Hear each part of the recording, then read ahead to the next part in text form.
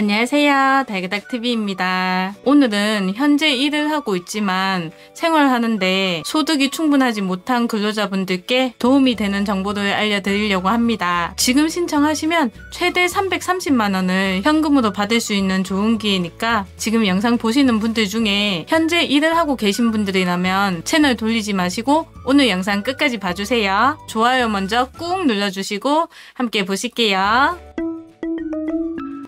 오늘은 근로장려금 신청을 알려드리려고 합니다. 근로장려금이란 현재 일을 하고 있지만 생활하는데 소득이 충분하지 못한 근로자들과 사업자들을 대상으로 정부에서 근로장려금을 지급해서 근로자들에게 실질적인 도움을 주고 소득을 재분배하는 효과를 내고자 하는 정부 지원 정책입니다. 근로장려금을 1년에 총 4번 신청할 수 있는데요. 매년 5월에 신청하는 정기 신청과 기한 후 신청, 3월과 9월, 상반기, 하반기로 두 번 나누어서 신청하는 반기 신청이 있습니다. 정기 신청을 할 때 기한 내에 제때 하지 못해서 기한 후에 신청을 하게 되면 10% 감액 후에 지급이 되기 때문에 특별한 사정이 있지 않다면 정기 신청을 하시는 게 좋습니다. 정기 신청과 반기 신청은 조건이 조금 달라서 구분을 해서 신청을 하셔야 되는데요. 배우자 포함 근로소득만 있는 경우에는 정기 신청 또는 반기 신청 둘 중에 선택해서 하나만 신청을 하시면 되고요. 근로소득 포함해서 사업소득이 있는 사업자와 종교인 소득자는 정기 신청 기간에 신청을 하셔야 됩니다. 근로장려금을 수령할 때는 재산과 소득 기준이 적용이 되는데요. 가구 유형과 소득액, 보유재산의 기준에 따라 받는 액수가 달라집니다. 또 이 모든 기준이 다 맞는다 하더라도 대한민국 국적이 아니거나 전문직 종사자라면 근로장려금은 지급받을 수 없습니다. 근로장려금 신청 기간은 반기 신청은 3월과 9월에 신청을 하고 하고요. 3월에 한번 신청을 해놓으시면 자동으로 신청이 돼서 9월에도 지급이 된다고 합니다. 반기 신청의 신청 기간은 작년 하반기 분을 3월 1일부터 3월 15일까지 신청을 받고 있고요. 올해 상반기 분을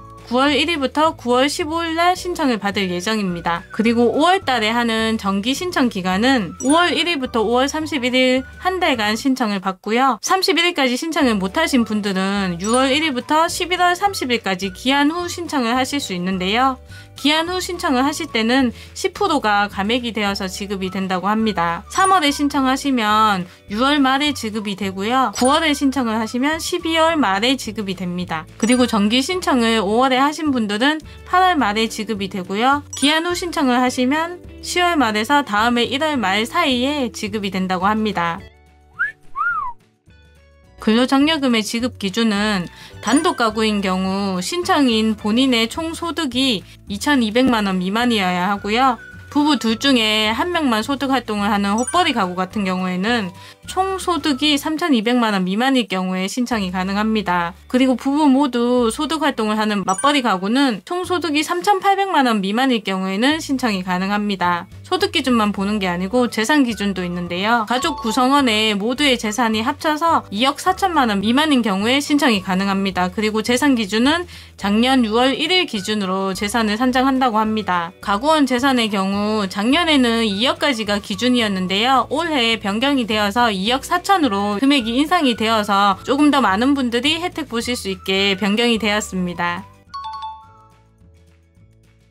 근로장려금 최대 지급액이 올해부터 인상이 되었습니다. 각각 10%씩 인상이 되어서 단독 가구는 165만원, 콧벌이 가구는 285만원, 맞벌이 가구는 최대 330만원을 받을 수 있습니다. 소득과 재산 합계액에 따라서 개인별 산정 금액은 조금씩 다를 수 있으니까 참조하세요. 근로장려금 신청 방법은 신청 안내문을 받은 경우와 받지 못한 경우에 따라서 신청하는 방법이 조금씩 다릅니다. 먼저 개별 인증문이 포함된 신청 안내문을 받은 경우에는 첫 번째로 ARS 전화로 신청을 하는 방법이 있고요. 두 번째로 홈택스 모바일 앱을 접속하셔서 신청하시는 방법이 있고요. 세 번째로 신청 안내문에서 바로 신청하는 방법이 있습니다. 그리고 네 번째로 PC에 홈택스로 접속을 하셔서 신청하시는 방법이 있고요. 마지막 다섯 다섯 번째로 장려금 상담센터 또는 거주지에서 가까운 세무서에 전화해서 신청 대리 서비스를 요청하시면 됩니다. 신청 안내문을 받지 못한 경우에는 세 가지 방법으로 신청을 하실 수 있는데요. 첫 번째로 PC로 홈택스에 접속하셔서 신청을 하시는 방법이 있고요. 두 번째로 모바일로 홈택스에 신청하시는 방법이 있습니다. 그리고 세 번째로 세무서에 문의 전화를 해서 우편 접수로 서면 신청을 하는 방법이 있습니다. 지금까지 근로장려금에 대해서 알아봤는데요. 지금 현재 3월 15일까지 근로장려금 반기 신청을 받고 있으니까 신청 안내 받으신 분들은 기간 내에 꼭 신청을 하셨으면 좋겠고요. 만약에 내가 조건에 맞을 것 같은데 아직 안내를 못 받으신 분들은 홈택스 홈페이지 또는 모바일로 홈택스 앱에 접속을 하셔서 확인해 보시고 장려금 상담센터나 거주지의 관할 세무서에 전화해서 문의하시면 됩니다. 영상 보시고 조건에 해당이 되는 되는 분들은 빠른 시일 내에 신청을 하셔서 많은 분들이 혜택을 보셨으면 좋겠습니다. 그리고 중요한 게 한 가지 있어요.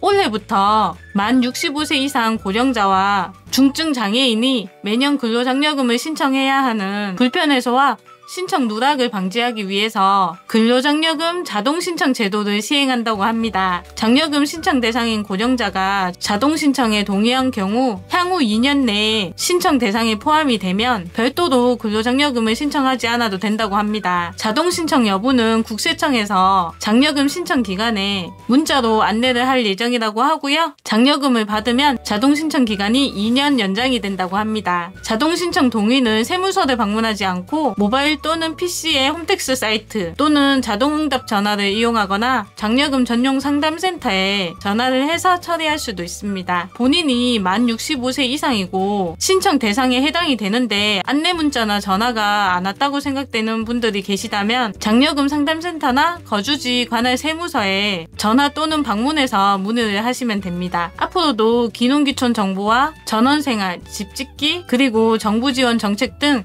여러분들에게 돈이 되고 도움이 되는 소식들을 발빠르게 전해드릴 테니까요. 달그닥TV 구독과 좋아요, 알림 설정까지 꼭 해주세요. 오늘 영상은 여기까지고요. 다음 영상에서 찾아뵙겠습니다. 감사합니다.